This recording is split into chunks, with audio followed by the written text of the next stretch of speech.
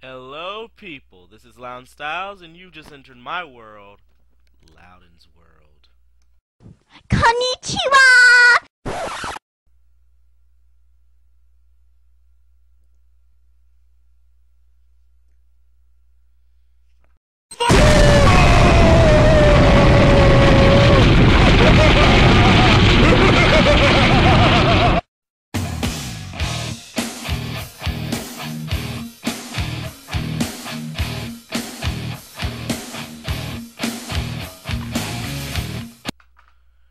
Today on Louden's World, I want to talk about something that I've wanted to talk about for some time, but was too lazy to do it.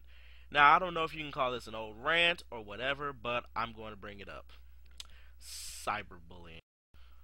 What brought this up, you ask? Well, I was at my school, and I saw a pamphlet about the issue of cyberbullying.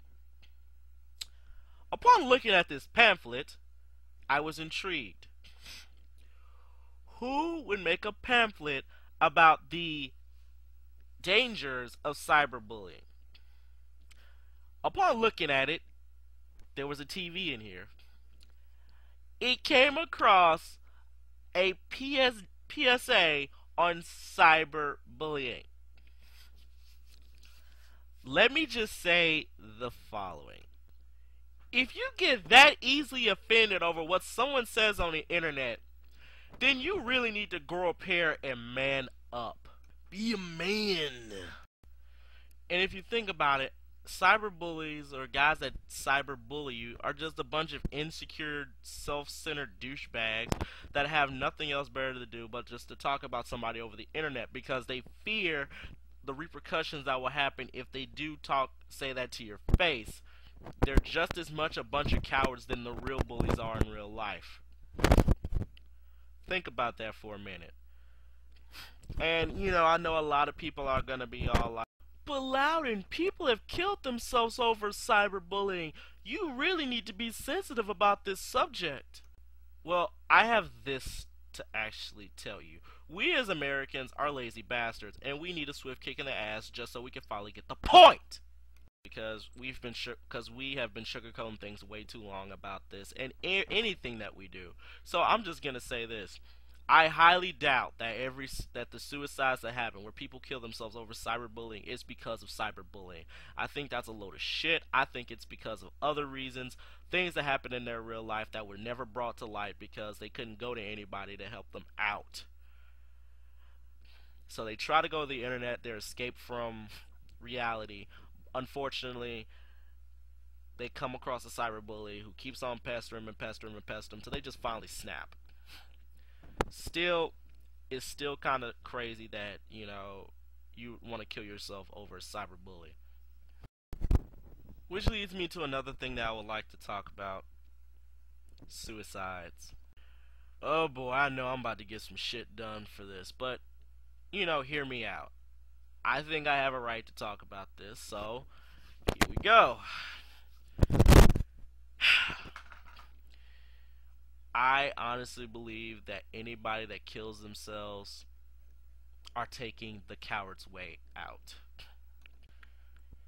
I'm sorry, but you know, that's how I look at it. If you kill yourself, then you know, you're taking a coward's way out, and that is a very cowardly thing to do you could not you know handle all of the punches life gave you that you felt like you just had to give up. Don't you know that there are people out there that go through what you're going through but worse? There are little kids in third world countries that sell their bodies just for help just to help their mother and father or their bro or their brothers. There are people out there that's gone through everything that you've gone through but learn how to just roll with the punches and keep on going on. I'm a double-edged sword to this. While I believe that, you know, suicide is one of the most cowardly things to do and you couldn't, you know, handle all the crap that's happened to you in life because I just don't know, something inside your head just made you want to kill yourself. I also believe that all this shit just could have been avoided if somebody paid attention or just told somebody that this person was suicidal. You know, all this could have been avoided if somebody listened. And before I keep on with this, let me just say this. I've gone through some crazy crap in high school that would have made anybody want to kill themselves. I've I joined a football team because I liked football and just for people to get off my back. But yet that was like the one of the worst experiences I've ever had because I have been pantsed and humiliated before. I have had guys damn near drop me like a bad habit during practices. I've been pantsed in locker rooms and I've also had guys making fun of the size of my dick. So I have been humiliated. I have been bullied. I have physically, I've been mentally and physically hurt many times in high school, but yet I roll with the punches. There have been moments where I felt like I just wanted to end it all, not in the way of, you know, killing myself, but in the way of killing everybody else. But I still roll with the punches and I didn't do that. You can too. But like I said about the whole this shit could be avoided thing, this could be avoided for so many reasons. Because, for one, if the friend that was told this would just tell somebody, because this is how it always starts. It always starts with either the parents or the friend. The friend doesn't tell anybody because she he wants he or she wants to be a good friend and don't tell anybody when they don't realize that you're just a bet you're an even better friend if you tell somebody. And then if the kid kills himself, the parents always say things like, "Oh, we didn't know." How in the hell did you not know that your kid was suicidal? Were you too wrapped up in your own bullshit life were you too wrapped up in that one particular job that you could not spend five seconds with your own damn kid and realize that he had a problem instead of just shoving him off somewhere because you say, honey, daddy's busy or mommy's busy? Sad.